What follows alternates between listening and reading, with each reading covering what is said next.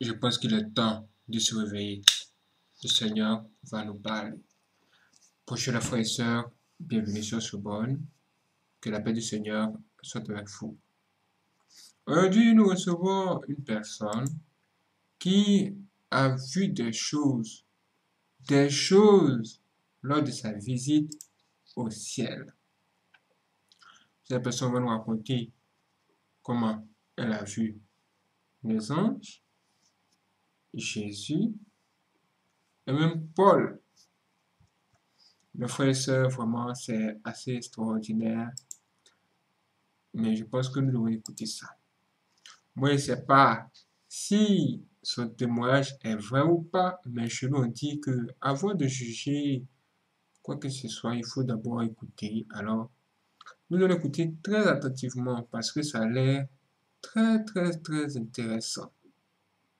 Que Dieu nous protège. Que Dieu soit avec nous. Que nous donne son esprit de discernement. Qu'il n'oublie pas de changer nos cœurs durs et de nous purifier ce dimanche. Amen. Alors, écoutons.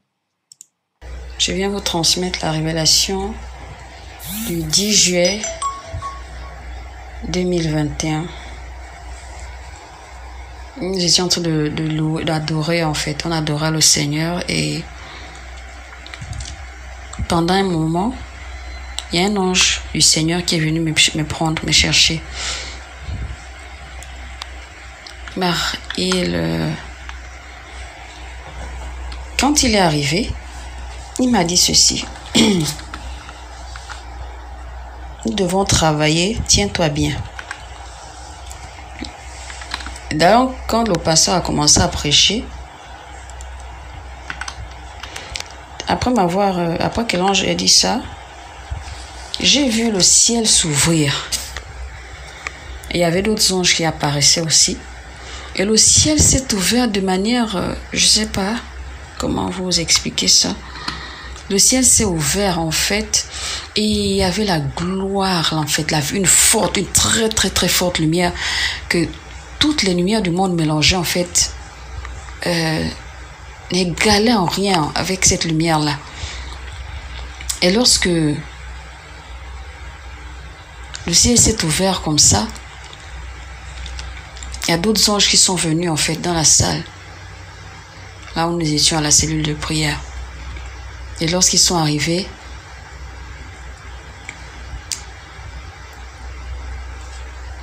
celui qui m'a dit que nous devons travailler m'a prise. Les autres sont... Et en tout cas, il m'a prise et puis il m'a amené. Nous, nous avons commencé à monter, donc nous sommes rentrés dans... Nous sommes, rentrés, nous sommes arrivés donc au, au ciel, en fait, au troisième ciel. Et quand nous sommes arrivés, il y a, le Seigneur nous attendait à, à un endroit, à une allée en fait. Et l'ange qui m'a mené, il avait, il avait deux grandes ailes. Il était très géant, très fort, très. En fait, il y avait une telle puissance en lui. Et il était serein. Vous savez, il y a une sorte de, il y a cette sorte là de, cette, il y a cet amour en fait cette compassion-là que les anges du Seigneur ont pour l'espèce humaine, pour les hommes, les femmes, les enfants, en fait, la créature de Dieu. Donc, ça, c'est, en fait, ça, ça, ça c'est dégagé de lui, en fait. Et je, pendant qu'on montait, je, je le regardais. Il, avait, il, était, il avait des vêtements un peu compliqués à décrire mais c'était des vêtements de guerre en fait. C'était un ange très puissant. Il y a une puissance qui se dégage de lui. Et c'est alors que nous sommes arrivés au ciel, là où le Seigneur m'attendait. Et lorsque nous sommes arrivés, il m'a confié au Seigneur lui-même, il est parti. Le Seigneur était là debout. Quand je suis arrivé, on n'est pas parti aussitôt. On est d'abord resté, on le je l'observais. Et lui, il était debout. Vous savez, les marques du Seigneur sur ses mains, les marques sur ses pieds sont encore tellement visibles. Et ces marques-là, en fait, lorsque tu es en face de lui que tu vois ces marques, tu peux pas t'empêcher de revivre. C'est comme si, en fait, bon, c'est mec, c'est ce qui m'est arrivé. C'est comme si je revivais la scène du jour de sa crucifixion, en fait. Ça, tu peux pas t'empêcher de de, de, de, de penser à ça, en fait. Tu peux pas t'empêcher de, de, de, penser qu'il s'est sacrifié en se faisant, en se laissant clouer à la croix à Golgotha. Et c'est ce qui, c'est ce qui m'est arrivé en fait. Tu, ça peut pas te, en fait tu peux pas tu peux pas, c'est juste impossible. Bon, personnellement, c'est ce qui m'est arrivé. Donc, j'ai observé, je, ces marques et sur, sur ses mains, sur ses pieds, était encore là, bien visible. Et je me suis vue en train de revivre la scène de sa crucifixion. Mais bon, ce n'était pas pour ça qu'il m'avait fait euh, grâce de la visite au ciel. Et c'est alors qu'il m'a invité à le suivre. Euh, je n'ai pas... Vous savez, euh, je ne sais pas si quelqu'un peut déjà dire, bon, pour ceux qui ont déjà eu grâce, euh, cette grâce de, que le Seigneur leur fasse grâce, en fait, que cette grâce-là que le Seigneur se révèle à eux. Je ne sais pas s'il y en a qui ont déjà vu son visage, mais moi, personnellement, jusque-là, je n'ai pas encore vu son visage. Il y a une gloire, cette gloire-là, la gloire est tellement forte. la gloire qui se dégage de son visage est tellement forte, elle est totale. En fait, c'est pas comme si c'est juste un faisceau de lumière qui éclaire son visage, non. Mais c'est carrément lui-même, en fait, qui, je peux dire, qui produit cette gloire-là. C'est lui-même, en fait, qui est cette gloire. C'est lui qui l'a produit. Du coup, la gloire vient de son visage. Ce n'est pas que ça vient, la lumière ou bien la gloire la vient d'ailleurs et lui illuminer son visage, non. Mais c'est lui-même qui en est la source. Et il m'a invité à le suivre. Je l'ai suivi, on avançait avec lui. Il y avait un calme total. Vous savez, même lorsque nous disons sur la terre que nous avons, nous sommes en paix, il y a la paix. Mais la paix sur terre est vraiment apparente. Dans ce sens que nous avons plusieurs domaines de la vie. Nos domaines social, le domaine professionnel, scolaire pour ceux qui vont les enfants, les élèves, le domaine sentimental, le domaine spirituel, etc. Et lorsque nous disons que nous avons la paix, parfois c'est dans un seul domaine. Et dans les autres domaines, parfois nous sommes encore inquiets, on est encore troublés. Mais la paix qu'il y a au ciel est totale. Elle est parfaite, elle est stable.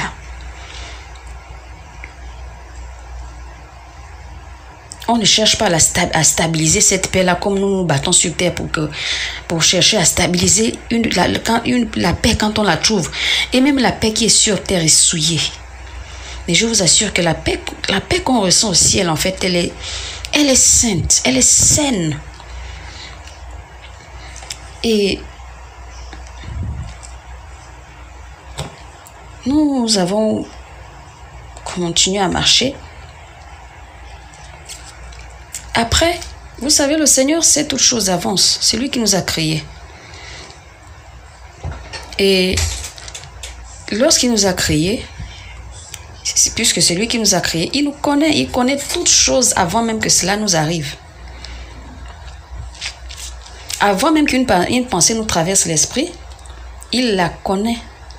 Il connaît les détails de la pensée à l'heure exacte, à la tierce près à laquelle la pensée va nous, va nous effleurer, il le sait. Et puisqu'il connaissait mes pensées, il m'a posé la question, il voulait entendre la réponse de ma bouche. Il m'a posé cette question.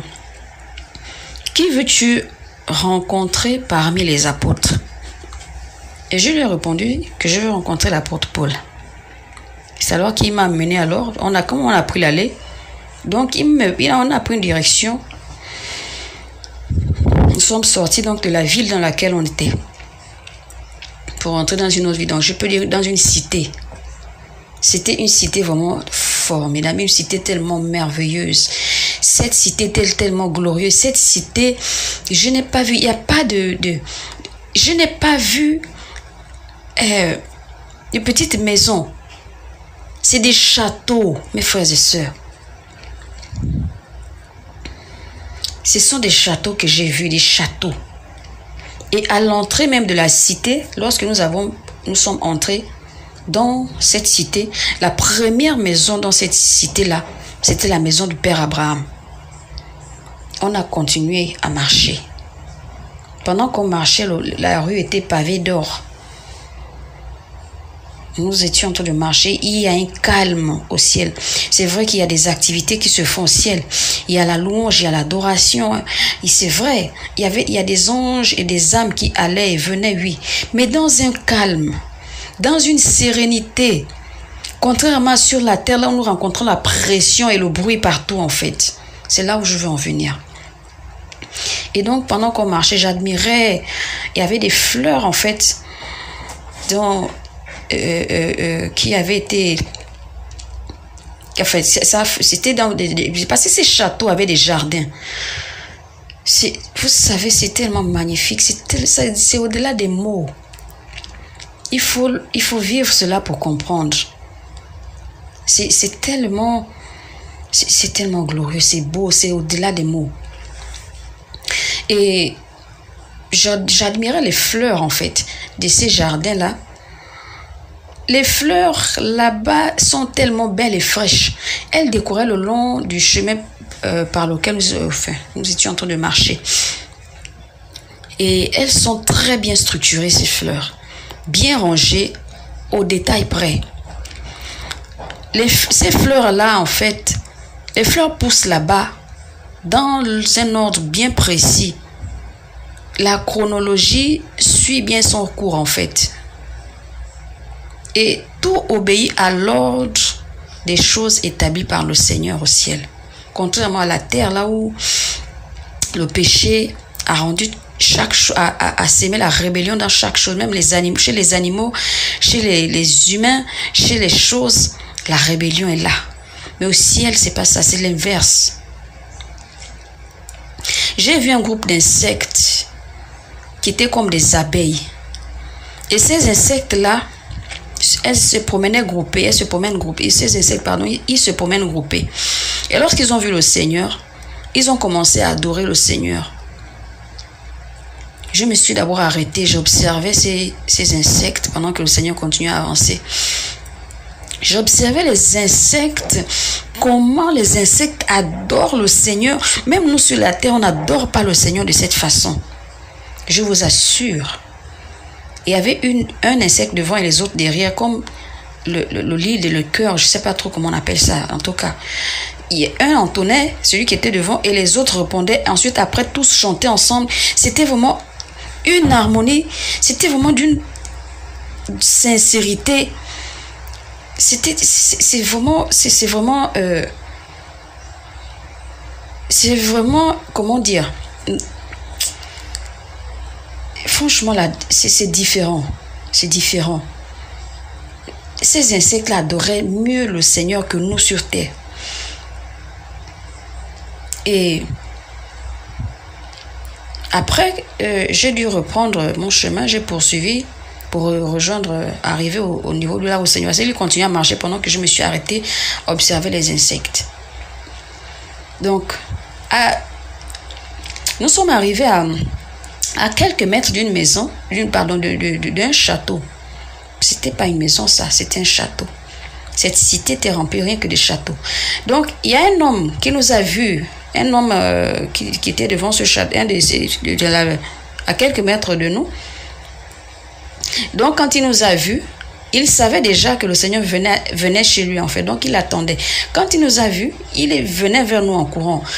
Il était tellement joyeux tellement enthousiaste, il avait vraiment de l'enthousiasme, très très très content. il était très chaud. Et il y avait la gloire de Dieu qui, qui, qui, qui, qui remplissait tellement cet homme en fait. Mêlé d'une sainteté. Tout ça était fusionné en fait. Lorsque nous sommes arrivés en fait auprès de, de lui, je veux dire en fait que la sainteté que cet homme a, s'est battu pour avoir sur la terre, ça l'a emmené au ciel et sur terre et sur au ciel, la gloire de Dieu l'a rempli. Il, et ça a fusionné en fait. Et lorsqu'il il est arrivé au niveau là où nous étions, il s'est prosterné face contre le sol devant le Seigneur. Et le Seigneur a demandé de se relever. Il s'est relevé. Le Seigneur m'a dit, c'est ton frère que tu demandais à voir. Je savais que c'est l'apôtre Paul. Donc mon frère Paul. Je vous assure qu'il était très jeune. Il est très jeune. On peut même lui donner... On peut, en fait, vous pouvez même lui donner 13 ans. 14. Il était tellement très jeune. Alors que sur Terre, je ne sais pas, mais je pense que sur Terre, lorsqu'il avait été exécuté, il avait un certain âge. On peut enfin, peut-être qu'il était plus jeune, il n'était plus si jeune que ça. Mais je vous assure qu'au ciel, la sainteté et la gloire qui émanaient de lui ont fait en sorte qu'il soit rajeuni au point d'avoir presque, je peux dire, on peut lui donner 13 ans. Tellement il est jeune. Et c'est alors que le Seigneur m'a invité à lui poser la question que je voulais lui poser. Et j'ai demandé à Paul, devant, en présence du Seigneur, je lui ai demandé ceci. Euh, qu'est-ce qu'il en est des, écrits, de tes épîtres, en fait, des, des, épîtres que tu as écrits sur terre? Parce que beaucoup s'en servent pour s'aimer tellement de confusion dans les âmes. Il y en a qui s'en servent aussi pour leur édification personnelle, mais toutefois, il y a toujours une confusion. Et c'est alors qu'il me répond ceci. Premier point, il me répondit, il y a d'abord un problème de traduction. Les traducteurs de la Bible, à cause du fait qu'il n'existe pas, il n'existait pas, pardon, certaines lettres dans l'alphabet des langues étrangères, ont dû traduire certains mots en donnant des synonymes. Du coup, le mot perd tout son sens et donne un autre sens à la phrase. Donc au verset dans lequel il se trouve. Deuxième point, il y a le fait que la religion de l'ordre mondial, que nous connaissons tous, qui existe depuis très longtemps, enlève à chaque édition et révision, c'est-à-dire à chaque fois qu'ils éditent la Bible et à chaque fois qu'ils révisent la Bible, ils enlèvent des mots clés qui amèneront les enfants de Dieu à la lumière et à la connaissance. Troisième point, il y a le manque d'intimité des enfants de Dieu avec le Seigneur. Parce que c'est dans leur intimité que le Seigneur lui révèle ces choses profondes, ces choses cachées, ces choses euh, impensables. Et il prend pour exemple 1 Corinthiens 10, 25, là où il disait que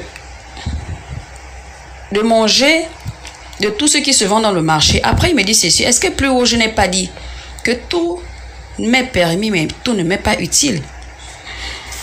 Et il poursuit en disant, ceux qui manquent de maturité spirituelle diront qu'ils doivent manger de tout, tout manger.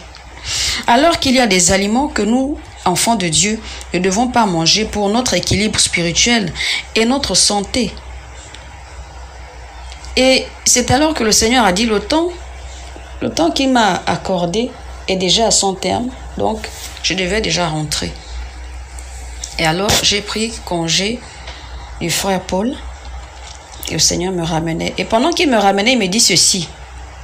Va dire au monde, à tous ceux qui s'apprêtent pour ma venue très proche, que ma parole est claire. Elle n'est pas écrite en vain. Si elle est écrite, c'est pour une bonne cause, la vôtre. Dis-leur que je dis que ceux qui pêchent, pêchent encore. Que ceux qui se sanctifient, se sanctifient encore. Je ne regarderai pas qui est resté derrière ou pas. J'ai longtemps parlé et je parle encore. Je recueille mes enfants parmi les rapines et je les connais tous. À présent, rentre et garde ma paix.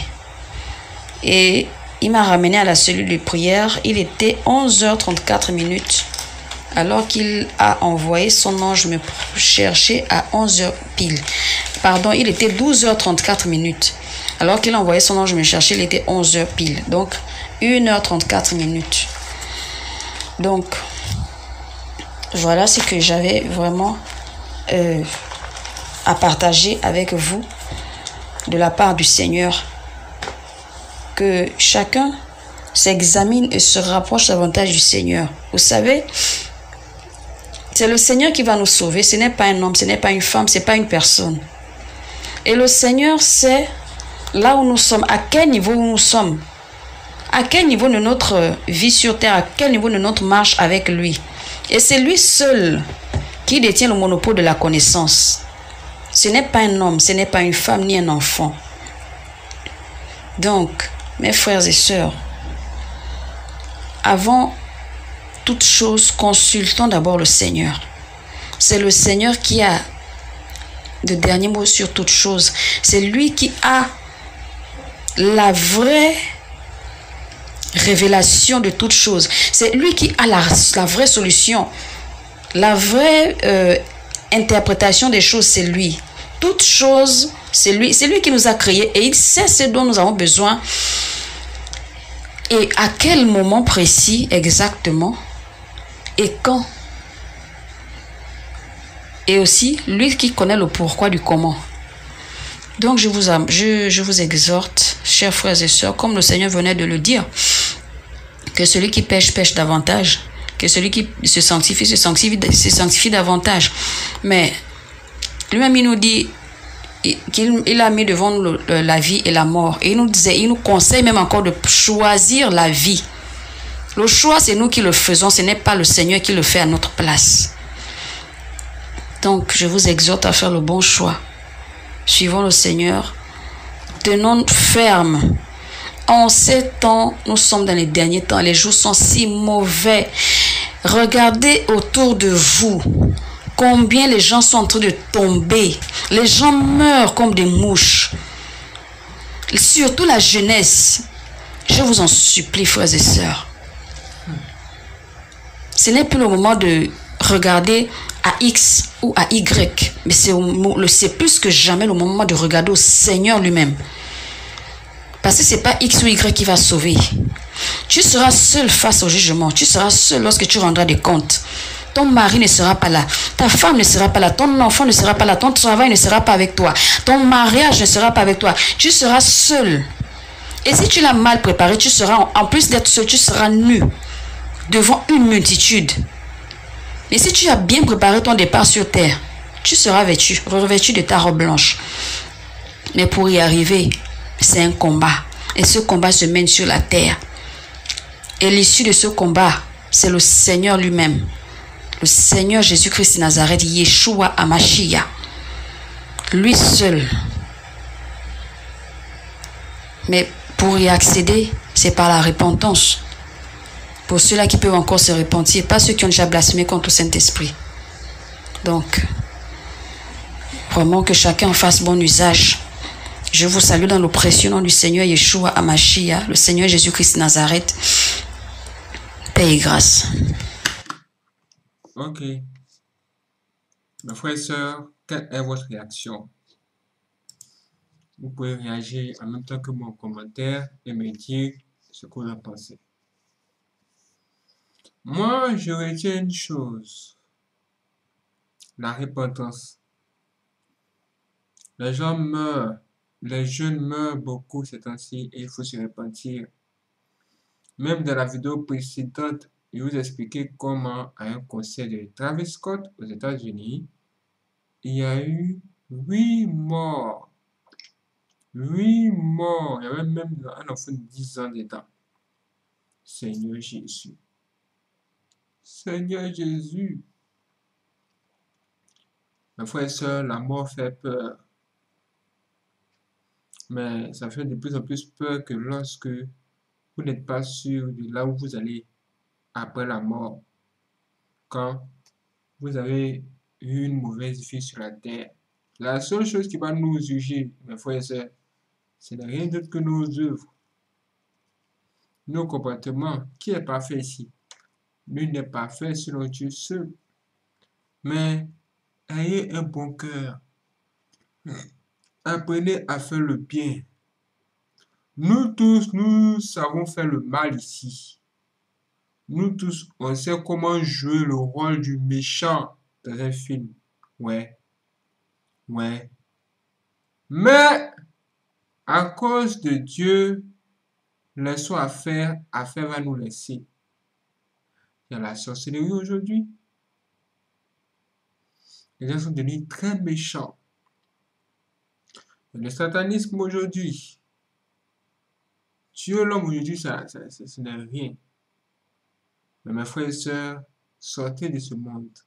Sortez de ce monde dominé par la puissance des ténèbres et revenez à Dieu. Revenez chez Dieu. Revenez chez nous. Afin que Dieu ait compassion de nous et qu'il puisse laver nos robes. Laver nos robes. Les rendre plus, même plus blancs que blancs. Et que nous puissions sentir bon maintenant. Afin de pouvoir le rejoindre au ciel le jour venu. On dit Jésus revient bientôt. Il n'est pas encore venu. On parle de lui passer par là. Mais chiant, c'est comment? Ah, mes frères et sœurs. Même si le Seigneur Christ n'est pas encore revenu, il y a la mort qui est là. Et s'il n'est pas encore revenu, dites Dieu merci. Parce que beaucoup de personnes n'ont pas encore réussi à vaincre leur péché mignon, leur péché secret. Que ce temps-là, vous êtes à réussir à vos démons, à vaincre vos péchés, dans tous les sens possibles, afin que, à sa venue, vous soyez déjà prêts. Là, ils ne sont pas encore prêts. Ils ont dit que eh, Jésus dit qu'il revient bientôt, mais c'est comment Depuis n'est pas encore venu. Ah, mes frères et sœurs, c'est un temps très bon que Dieu nous donne, afin que nous puissions nous repentir. Si Dieu vous montre le nombre de méchants qu'il y a sur la terre, vous, allez, vous, serez surpris. Si Dieu vous montre ce qui se passe, non, vous allez dire c'est pas possible. Est-ce que vous êtes sur la terre ou bien vous êtes en enfer? Mes frères et sœurs, il y a la méchanceté sur la terre. Il y a des gens méchants. Mais nous, nous devons vraiment apprendre à faire le bien et combattre tous ces démons-là en esprit et physiquement. Qui veut nous attaquer, il faut que nous soyons forts pour pouvoir renverser les œuvres du ténèbres, les œuvres du diable, les œuvres des démons. C'est pourquoi il faut être armé. Revêtez-vous des âmes de Dieu. Allez lire la Bible, vous allez savoir quelles sont les âmes de Dieu. Je pense que c'est dans le livre d'Éphésiens. Dans le livre d'Éphésiens, vous allez découvrir les âmes de Dieu. On nous parle du bouclier de la foi. La foi, c'est une chose très importante, surtout ces temps-ci, où les temps sont mauvais, où les gens veulent nous forcer à recevoir des choses qui n'ont aucun sens dans notre corps. Nous devons être connectés à Dieu, tout en connectés au Saint-Esprit, afin que le Saint-Esprit puisse nous communiquer ce que nous devons avoir comme information et que nous puissions prendre les décisions qu'il faut au moment T, c'est-à-dire au bon moment. Il faut que Dieu mette sa parole dans nos bouches afin qu'au moment T, au moment venu, nous puissions dire ce qu'il faut dire pour nous défendre, pour nous défendre, selon le plan du Seigneur et notre plan, et non notre plan. C'est-à-dire que ce monde vraiment est miné le diable est là et il travaille. Ne vous laissez pas faire. Ne vous laissez pas faire, que ce soit physiquement ou en esprit. Combattez le diable dans tous les sens. Ne vous laissez pas faire. Que la paix du Seigneur soit avec vous, que Dieu vous accorde beaucoup de force. Et j'aimerais vous dire une chose. Nous sommes des êtres humains. nous pouvons pécher. Quand vous péchez, quand vous tombez de péché, ne restez pas à terre. Relevez-vous. Relevez-vous. Et soyez plus fort qu'avant. Réfléchissez maintenant sur ce qui vous a fait tomber et ôtez tout cela de vous. Et reprenez le chemin. Repartez encore. Plus fort. Et plus fort. Et plus fort encore. Je vous envoie de vous prochaine vidéo. Que la paix Seigneur soit avec vous. Et que Dieu vous garde.